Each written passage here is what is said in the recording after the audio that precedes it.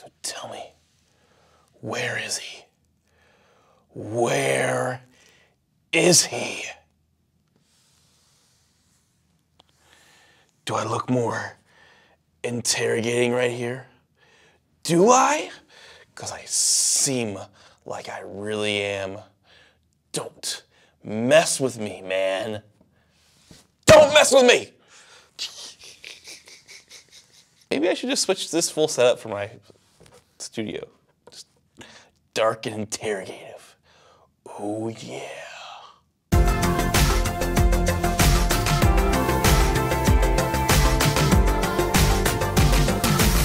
What's up guys, my name is Paul and if you're new here, we're on a channel that inspires other creators that your future is whatever you make it. I do that through gear reviews, tutorials, and today we are going over a light that is pretty darn good budget light and I think it's probably my number one pick if you had to stay on a budget but you still wanted those qualities. And if you like this kind of content, feel free to subscribe, like the video, and hit that bell notification so you don't miss a thing. So what is this light? This light is the Pixel C100, and you can find this light on Amazon, and it's normally around 250 to 280 bucks. When you get it on a steal like Prime Day, you can get it, I saw it as low as $200, which is crazy for a budgetary light that has all these features packed in that I'm going to get into today. Now, unfortunately, I wasn't able to keep this light. I bought it for some softbox reviews, thought I was going to be able to keep it if I liked it. I liked it, but there were some complications with the monthly budget, so I did have to return that light. Maybe if on it goes on sale on Black Friday, I will buy it again. A good COB light is in my future, but we'll see. This light is fantastic. Like, just the quality of it, it comes with a bag, all the accessories it comes with, the remote. You really just can't go wrong with a budgetary option like that, and that's why I think it's one of the best for the budget. Sure, you can go out and buy the Godox SL60W, but the fan noise is a little crazy and it doesn't come with anything other than a remote and the light itself. So pick and choose your battles. Otherwise, it's still a great light and you probably could get away with not hearing the noise much if you're on a strict budget but this is probably my suggestion for all around usability and budgetary option. But there's always cons of these lights, so the biggest con for me was the power adapter. I just didn't like it that much. It was nice that when you push it in hard enough, it locks. It was a custom made adapter for through them, or maybe it was some proprietary power adapter that other people use, but I'd never seen one before in my life. And it's it would just make it hard if it broke or anything like that to replace it. You'd probably have to reach out the Pixel and get it replaced, or Google and see try to figure out what kind of adapter it was. I just never saw it before. It was a really crazy XLR pin-ish adapter. But the nice thing is when you did plug it in, it locked. But I just don't like using proprietary stuff. I'd much rather if the light just had an IEC power cable than you, you know plug into a monitor or a PC. So like the Godox. But you know, we can live with that that's really one of the major cons in my book, but the secondary con is that it's not exactly true to the color science Kelvin measure. I found that when I was using it, I was around 5,000 to 5,100 Kelvin when I'm trying to get to a 5,600 Kelvin ish color temperature.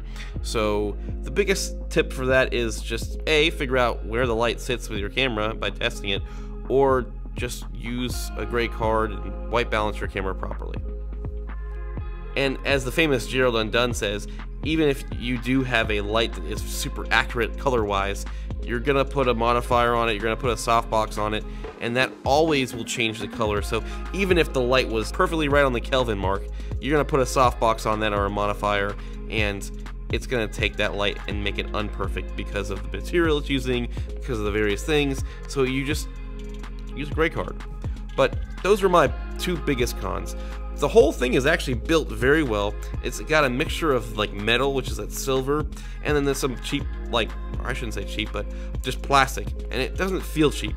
It feels sturdy. I didn't feel like I was getting like gypped off because, oh man, they're using plastic. I thought the build quality of this light was very good. And uh, it really mimics that like Aputure 120D body frame. And so you can't really go wrong with that. I mean, they made this, these lights famous, right?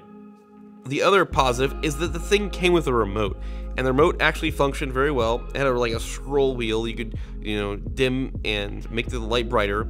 Um, the light did go all the way down, very low to 1%, and you can go all the way up in this light. So, and the other positive thing of this thing is the, is the fan noise. It is so quiet. And on top of all that, even if it did bother you that you could hear it slightly, but it's, I'm telling you, it's super quiet, you could just turn it off and the fan will automatically kick in when it knows it's getting hot again. And that is just amazing. It makes this light just that much better. Not only does it look good, but you're not gonna have to worry about the audio issues from it because it, you're not gonna be able to hear that quiet fan that plagues products like the Godox SL60 and some of the, the If you want a few examples of what this light looks like, well, let me just roll those now for you. And this right here is the light at 1%.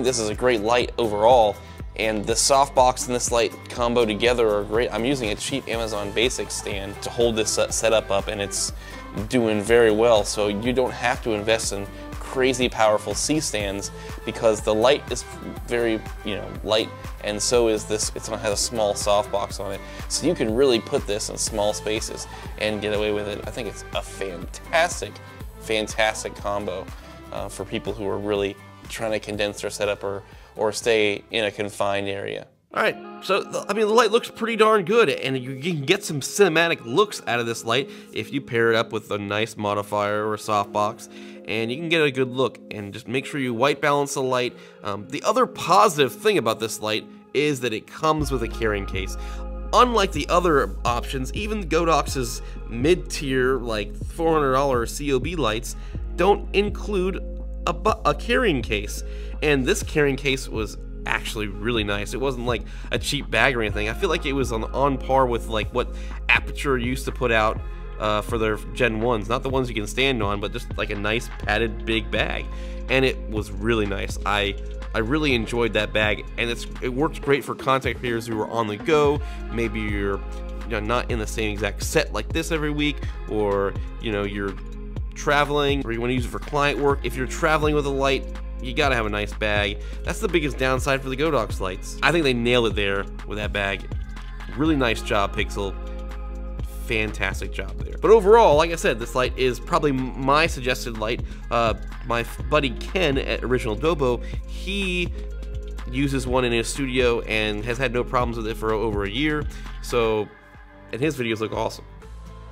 and if you haven't seen those videos, I've been starting to do videos on this channel, so just check it out. Like I said, can't, you can't really go wrong with it for a budgetary option. If you have the money and you want to go for a little bit more higher quality, sure, go go grab a Godox, uh, go grab an Aputure. But if you're looking to build up a studio with a lot of the features of a nice light, this is the one that you're gonna have definitely have to go for. Well, like, subscribe, do all the fun YouTube things in this video, and you know that I will see you in the future.